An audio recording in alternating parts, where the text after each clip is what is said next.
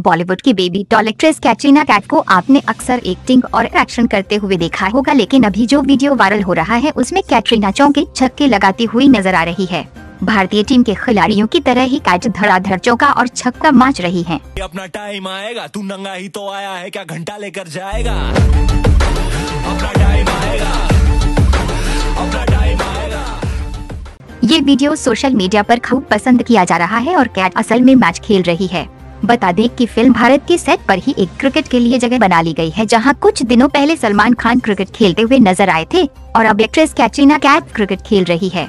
तो वहीं इस वीडियो को शेयर करते हुए एक्ट्रेस कैटरीना कैफ ने लिखा पैकअप के बाद भारत के सेट पर वर्ल्ड कप करीब है।